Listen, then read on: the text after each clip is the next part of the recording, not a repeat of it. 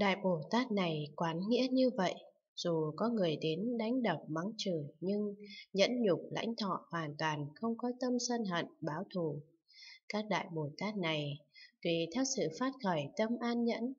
hồi hướng cầu đến trí nhất thiết trí, hộ trì an nhẫn ba la mật đa. Như vậy nên biết chúng Đại Bồ Tát thường an nhẫn ba la mật đa tất cả thời không bao giờ xả bỏ. Lại nữa xá lợi tử, nếu Đại Bồ Tát nào muốn chứng quả vị vô thượng chánh đẳng Bồ Đề có oán tặc đến cướp đoạt tài sản. Đại Bồ Tát này nên suy nghĩ, tài sản như vậy bản tánh đều không, không có sự lệ thuộc, sao lại duyên nơi đây mà sanh sân hận. Đại Bồ Tát này quán nghĩa như vậy, tuy gặp oán tặc cướp đoạt tài sản nhưng tâm hoàn toàn không sân hận oán thù. Các Đại Bồ Tát này tùy theo sự phát khởi tâm an nhẫn, hồi hướng cầu đến trí nhất thiết trí, hộ trì an nhẫn ba la mật đa. Như vậy nên biết chúng Đại Bồ Tát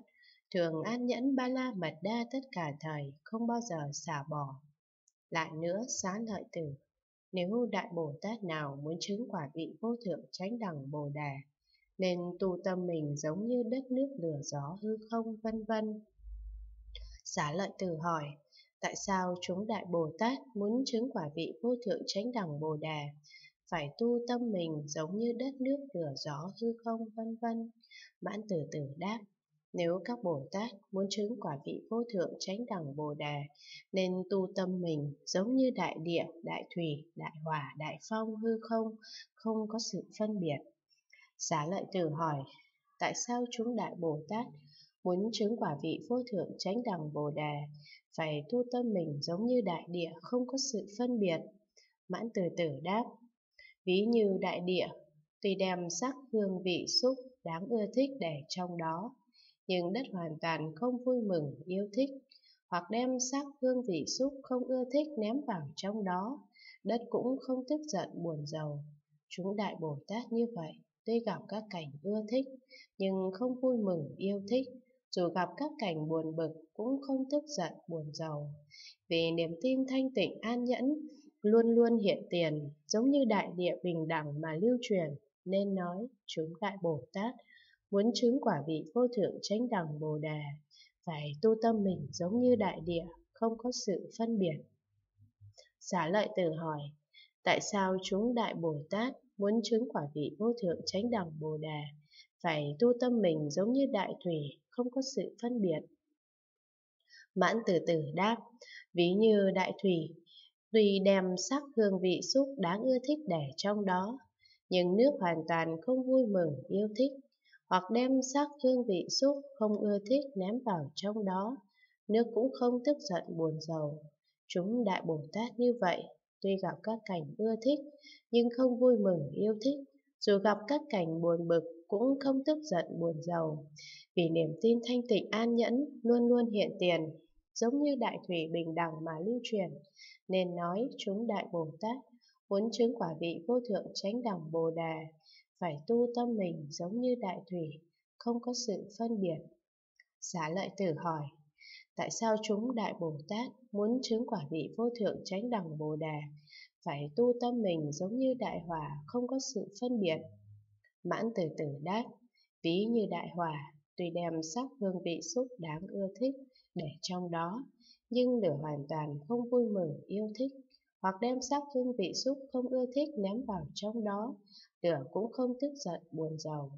Chúng Đại Bồ Tát như vậy, tuy gặp các cảnh ưa thích, nhưng không vui mừng yêu thích, dù gặp các cảnh buồn bực cũng không tức giận buồn giàu, vì niềm tin thanh tịnh an nhẫn luôn luôn hiện tiền, giống như đại hòa bình đẳng mà lưu truyền,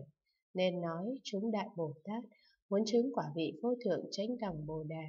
phải tu tâm mình giống như đại hòa không có sự phân biệt.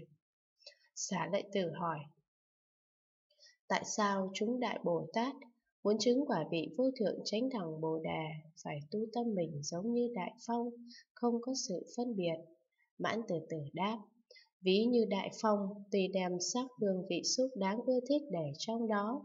nhưng gió hoàn toàn không vui mừng yêu thích,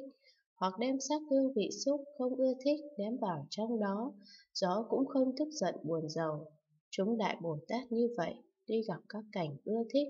nhưng không vui mừng yêu thích, dù gặp các cảnh buồn bực cũng không tức giận buồn giàu. Vì niềm tin thanh tịnh an nhẫn luôn luôn hiện tiền, giống như đại phong bình đẳng mà lưu truyền. Nên nói chúng Đại Bồ Tát muốn chứng quả vị vô thượng chánh đẳng Bồ Đề,